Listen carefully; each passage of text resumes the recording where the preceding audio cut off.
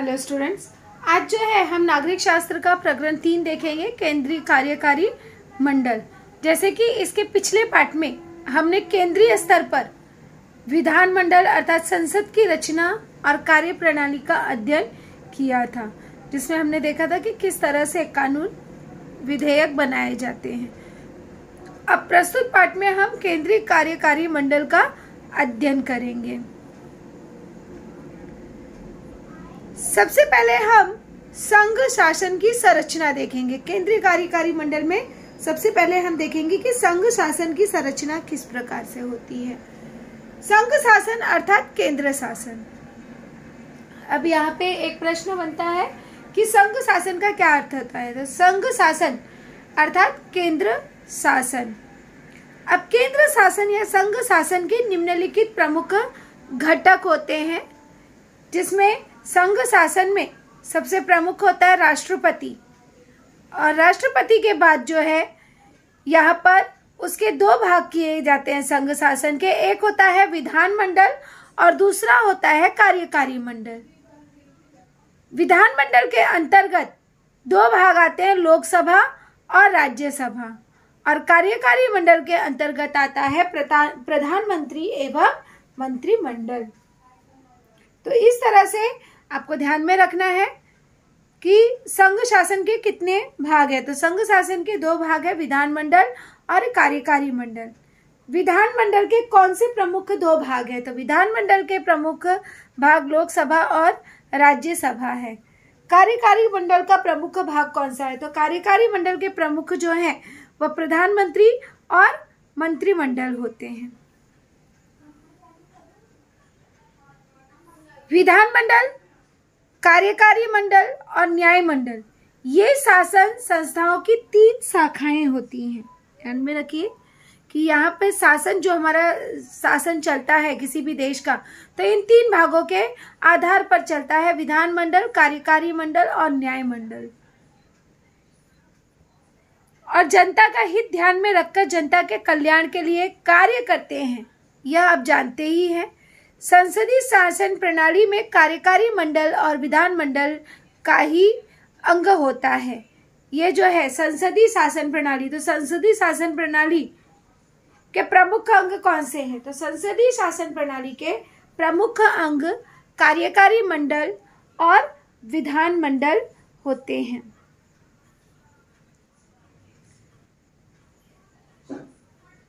और विधानमंडल के लिए ही उत्तरदायी होता है। और इसी प्रकार से संसदीय शासन प्रणाली में कार्यकारी मंडल, विधानमंडल का अंग होता है और विधानमंडल के लिए वह उत्तरदायित्व होता है। तो कुछ बातें जो विशेष हैं, जैसे यहाँ पर दो बच्चों के बीच में वार्तालाप हुई है, उसे बताया गया है कि रम, राष्ट्रपति, संवैधानिक प्रमुख और प्रधानमंत्री कार्यकारी प्रमुख हैं। दोनों पदों पर काम करने वाले व्यक्तियों में किस प्रकार के संबंध रहते हैं? तो यहाँ पर राष्ट्रपति जो है, राष्ट्रपति देश के नामधारी प्रमुख होते हैं। और जबकि प्रधानमंत्री जो है, वो वास्तविक रूप से कार्यकारी प्रमुख होते हैं। अब यहाँ पे दोनों के बारे में पूछा गया तो राष्ट्रपति जो है, ये प्रमुख तो है, लेकिन केवल नाम का है। और सारे अधिकार जो हैं, ये प्रधानमंत्री के पास होता है। प्रधानमंत्री यह कार्यकारी मंडल का प्रमुख होता है। अभी जैसे विद्या ने कहा, मुझे ऐसा लगता है कि प्रधानमंत्री राष्ट्रपति को नियमित रूप से मिलते हैं और वे शासन किस प्रकार चलाते हैं, इसकी जानकारी देते हैं। तो प्रधानमंत्री जो है, नियमित रूप से राष्ट्रपति से मिलते हैं और उन्हें शासन के विषय में जानकारी देते हैं। ये बात ध्यान में रखिए। और राष्ट्रपति को प्रधानमंत्री के माध्यम से देश के शासन नए नए कानून, नीतियाँ आदि की जानकारी प्राप्त करने का अधिकार होता है। तो राष्ट्रपति जो है, वो प्रधानमंत्री से देश के शासन के बारे में नए नए कानून के बारे में, नीतियों के बारे में वह जानकारी प्राप्त कर सकता है। अब इसी कड़ी में हम आगे देखेंगे। इस कार्यकारी मंडल में किन का समावेश रहता है? संविधान के संदर्भ में कौन से प्रावधान किए गए हैं? कार्यकारी मंडल लोगों के हित के लिए कैसी नीति, कैसे अपनी नीतियाँ बनाता है? आदि बातों को हम कार्यकारी मंडल के अंतर्गत पढ़ेंगे, क्योंकि विधानमंडल के बारे में इसके पहले ही हमने लोकसभा और राज्यसभा के बारे में हम पढ़ चुके हैं। इसके पिछले पीरियड में, इसके पिछले चैप्टर में हमने लोकसभा और राज्यसभा के बारे में पढ़ा था। तो इस बार जो है, इस चैप्टर में हम कार्यकारी मंडल किस प्रकार से कार्य करता है, किस प्रकार से वह नियम कानून बनाता है और इसके प्रमुख कौन होते हैं, उसके विषय में हम अधिक से अधिक जानकारी प्राप्त करेंगे। भारत के केंद्रीय मंडल में राष्ट्रपति, प्रधानमंत्री और मंत्रिमंडल का समावेश होता है। अब यहाँ पे एक प्रश्न बनता है कि भारत के केंद्रीय मंडल में किनका समावेश होता है? तो हमें उत्तर स्वरूप मिलता है कि भारत के केंद्रीय मंडल में राष्ट्रपति, प्रधानमंत्री और मंत्रिमंडल का समावेश रहता है। अब सबसे पहले हम देखेंगे राष्ट्रपति कि राष्ट्रपति जो है वह कार्यकारी मंडल में किस स्वरूप में कार्य करता है और उसका चुनाव कैसे किया जाता है। भारत के संविधान में निहित प्रावधान, जो भी नियम कानून बनाए गए हैं, प्रावधानों के अनुसार राष्ट्रपति सर्वोच्च राष्ट्र प्रमुख है। अब यहाँ पर एक वाक्य के लिए प्रश्न बनता है कि राष्ट्र प्रमुख कौन है?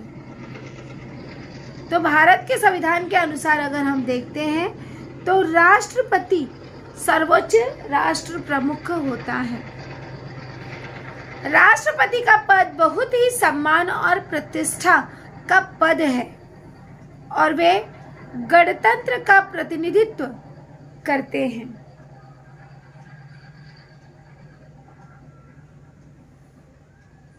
अब यहाँ पे एक प्रश्न बनता है कि राष्ट्रपति का पद देश का सर्वोच्च पद है। कारण लिखो। तो पहला कारण है कि भारत के राष्ट्रपति भारतीय गणतंत्र का प्रतिनिधित्व करते हैं। दूसरा, संविधान में राष्ट्रपति को देश की संपूर्ण कार्यकारी सत्ता प्रदान की है और इसलिए राष्ट्रपति का पद देश का सर्वोच्च पद है। संविधान ने राष्ट्रपति को देश की संपूर्ण कार्यकर्ता, कार्यकारी सत्ता दी है और देश के शासन राष्ट्रपति के नाम से ही चलता है। देश का शासन किसके नाम से चलता है? तो उत्तर स्वरूप हमें मिलता है कि देश का शासन राष्ट्रपति के नाम से चलता है। रिक्त स्थान की पूर्ति के लिए पूछा जा सकता है कि देश का शासन खालिस्तान के नाम से चलता है। तो देश का शासन राष्ट्रपति के नाम से चलता है। ऐसा होने पर भी प्रत्यक्ष रूप में प्रधानमंत्री और उनका मंत्रिमंडल ही शासन चलाता है।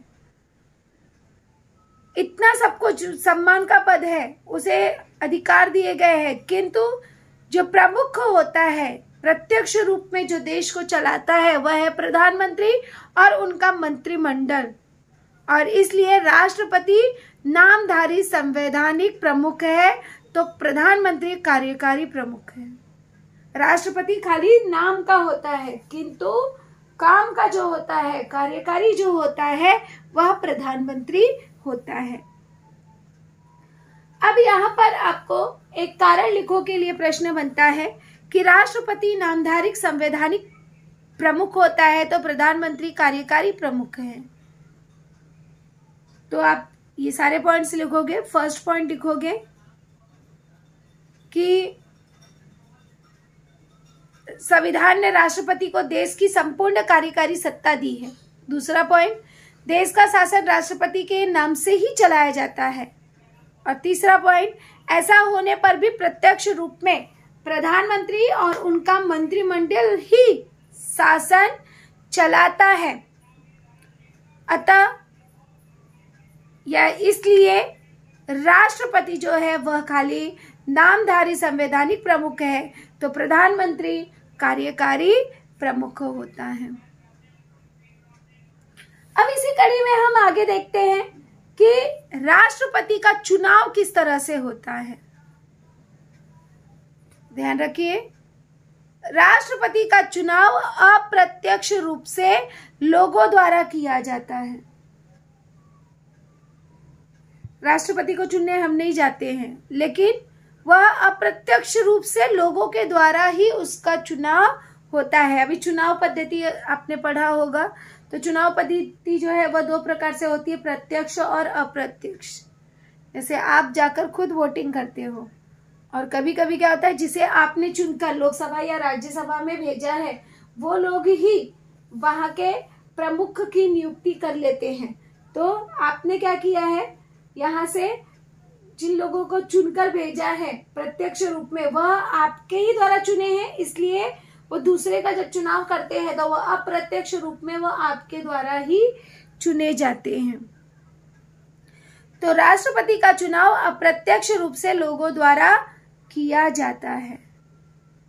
भारत के आम मतदाता राष्ट्रपति का सीधा चुनाव नहीं करते, बल्कि उनके द्वारा चुने गए संसद सदस्यों और राज्यों की विधानसभाओं के सदस्यों द्वारा राष्ट्रपति का चुनाव किया जाता है, जिसे आपने, जिसे चुनकर आपने लोकसभा और राज्यसभा में भेजा है। उनके द्वारा ही, लोकसभा और राज्यसभा के सदस्यों के द्वारा ही राष्ट्रपति का चुनाव किया जाता है। अब यहाँ पर एक प्रश्न बनता है कि राष्ट्रपति का चुनाव किसके द्वारा किया जाता है? तो उत्तर स्वरूप हमें मिलता है कि राष्ट्रपति का चुनाव, यहाँ पर राष्ट्रपति का चुनाव संसद के लोगों के द्वारा किया जाता है, राज्यों के, विधानसभा के सदस्यों के द्वारा किया जाता है। संसद सदस्य और राज्य विधान सभा के सदस्यों के गुट को निर्वाचन मंडल कहा जाता है। अब यहाँ पे एक प्रश्न बनता है कि निर्वाचन मंडल किसे कहते हैं? तो उत्तर स्वरूप हमें मिलता है कि संसद और विधान सभाओं के जो सदस्यों के समूह होते हैं, उनको मिलाकर निर्वाचन मंडल बनता है और उसी को हम कहते हैं निर्वाचन मंडल। अर्थात संसद और विधान सभाओं के सदस्यों के समूह को निर्वाचन मंडल कहते हैं। अब आगे हम देखेंगे कि राष्ट्रपति की योग्यता की कौन सी शर्तें हैं। क्या, किस प्रकार का व्यक्ति जो है राष्ट्रपति के लिए, पद के लिए योग्य होता है? तो राष्ट्रपति का कार्यकाल प्रमुखतः पाँच वर्ष का होता है। तो एक प्रश्न बनता है कि राष्ट्रपति का कार्यकाल कितने वर्षों का होता है? तो हमें उत्तर स्वरूप मिलता है कि राष्ट्रपति का कार्यकाल पाँच वर्षों का होता है। राष्ट्रपति पद का चुनाव लड़ने वाला व्यक्ति भारत का नागरिक होना चाहिए, यह उसकी पहली शर्त है। योग्यता की शर्त है कि अगर कोई व्यक्ति राष्ट्रपति पद के लिए चुनाव लड़ता है तो वह भारत का नागरिक होना चाहिए। दूसरी शर्त है, उसकी आयु 35 वर्ष पूर्ण होनी चाहिए। यह दो योग्यताएँ जिस व्यक्ति के अंदर है, वह व्यक्ति राष्ट्रपति पद के लिए चुनाव लड़ सकता है। तो यहाँ पे एक प्रश्न बनता है कि राष्ट्रपति पद की योग्य की कौन सी शर्तें हैं? राष्ट्रपति पद की योग्यता की कौन सी शर्तें हैं? तो राष्ट्रपति पद की योग्यता की शर्तें निम्नलिखित है। पहला कि राष्ट्रपति पद का चुनाव लड़ने वाला व्यक्ति भारत का प्रमुख नागरिक होना चाहिए। और दूसरा है कि उसकी आयु 35 वर्ष से पूर्ण होनी चाहिए मतलब 35 वर्ष हो जानी चाहिए। राष्ट्रपति पद पर चुने गए व्यक्ति को अपना पद स्वीकारते समय शपथ लेनी पड़ती है।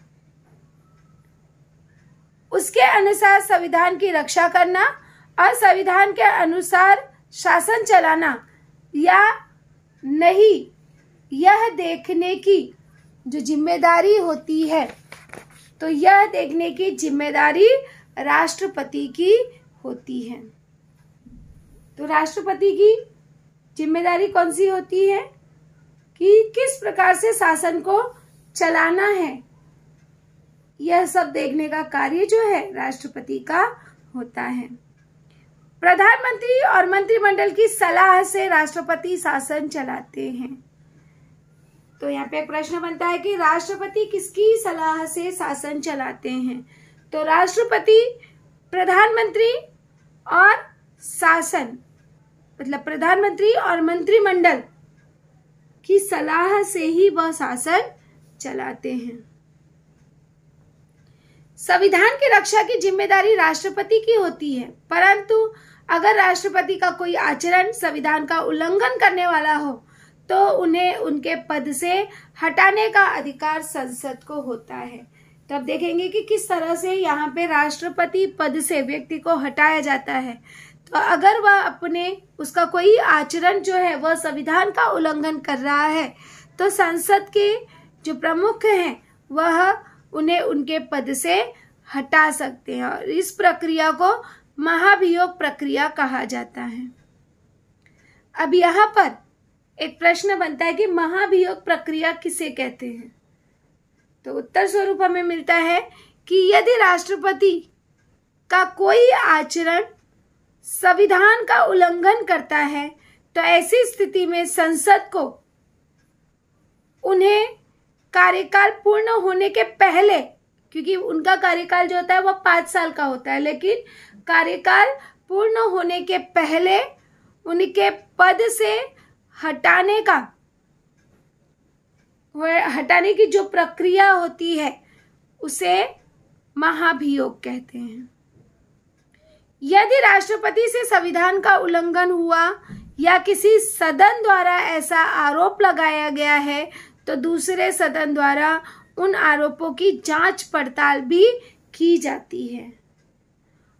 इस तरह से लोकसभा और राज्यसभा दोनों सदनों के विशेष बहुमत से अगर दो तिहाई से प्रस्ताव पारित होना आवश्यक है, उसके बाद ही राष्ट्रपति को उसके पद से हटाया जा सकता है।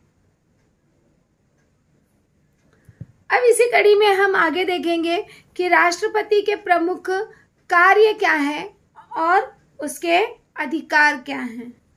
कार्य और अधिकार, इन दोनों के विषय में हम चर्चा करेंगे। तो संविधान द्वारा राष्ट्रपति को कई सारे कार्य प्रदान किए गए हैं। जैसे, पहला है कानून संबंधी अधिकार। अभी कानून संबंधी अधिकार राष्ट्रपति को दिए गए हैं। तो राष्ट्रपति को क्या करना होता है? राष्ट्रपति को संसद का सत्र बुलाना होता है, स्थगित करना होता है, संसद का संदेश भेजना होता है। लोकसभा के पूर्ण विधि के बाद या समय से पहले बर्खास्त करना, ये सभी अधिकार राष्ट्रपति को प्राप्त हैं। और ये सभी जिम्मेदारियाँ जो है राष्ट्रपति को निभानी होती है। इसके अलावा यहाँ पर लोकसभा और राज्यसभा द्वारा पारित विधेयक पर राष्ट्रपति के हस्ताक्षर होना आवश्यक है। उनके हस्ताक्षर के बिना कोई भी विधेयक कानून में परिवर्तन नहीं होता है। तो ध्यान में रखिए। राष्ट्रपति जो है, वह महत्वपूर्ण का होता है। अगर कोई कानून यहाँ पर लोकसभा और राज्यसभा ने पारित किया है और कोई नया कानून बनाना है तो उसे सर्वप्रथम राष्ट्रपति का हस्ताक्षर होना आवश्यक है, क्योंकि राष्ट्रपति के हस्ताक्षर के बिना कोई भी विधेयक, कानून का जो कच्चा प्रारूप होता है, उसे विधेयक कहते हैं तो कोई भी विधेयक जो है, वह कानून में परिवर्तित नहीं होता है। अगला है कि राष्ट्रपति प्रधानमंत्री की नियुक्ति करते हैं। तो प्रधानमंत्री की नियुक्ति कौन करता है? राष्ट्रपति। और उनके द्वारा सुझाए गए व्यक्तियों की मंत्री पद पर नियुक्ति करते हैं। अर्थात मंत्रिमंडल की जो रचना है, यह भी राष्ट्रपति करता है। यहाँ पे एक प्रश्न बनता है, प्रधानमंत्री और मंत्रिमंडल का चुनाव या नियुक्ति कौन करता है? तो प्रधानमंत्री और मंत्रिमंडल की नियुक्ति राष्ट्रपति के द्वारा की जाती है। राष्ट्रपति उच्चतम और उच्च न्यायालय के न्यायाधीशों की भी नियुक्ति करते हैं। तो राष्ट्रपति किन पदों की नियुक्ति करता है? तो राष्ट्रपति, प्रधानमंत्री, मंत्रिमंडल, उच्च, उच्चतम और उच्च न्यायालय के न्यायाधीशों की नियुक्ति करता है। और साथ ही साथ राज्यों के राज्यपाल मुख्य निर्वाचन आयुक्त और अन्य महत्वपूर्ण पदों पर जो व्यक्ति हैं, उन सभी की नियुक्ति राष्ट्रपति के द्वारा ही की जाती है। राष्ट्रपति भारत के तीनों रक्षा दल के सर्वोच्च प्रमुख होते हैं। खालिस्तान के लिए यहाँ पर पूछा जा सकता है कि खालिस्तान भारत के तीनों रक्षा दलों के सर्वोच्च प्रमुख होते हैं। तो सर्वोच्च प्रमुख कौन होता है? राष्ट्रपति। तो राष्ट्रपति भारत के तीनों रक्षा दलों के सर्वोच्च प्रमुख होते हैं। युद्ध और शांति संबंधी सभी निर्णय राष्ट्रपति लेते हैं। तो यहाँ पे प्रश्न बनता है, युद्ध और शांति से संबंधित सभी निर्णय कौन लेता है? तो युद्ध और शांति से संबंधित सभी निर्णय राष्ट्रपति के द्वारा लिए जाते हैं। राष्ट्रपति को कुछ न्यायालीन अधिकार भी प्राप्त हैं, जैसे किसी व्यक्ति की सजा को घटाना, सजा की तीव्रता कम करना,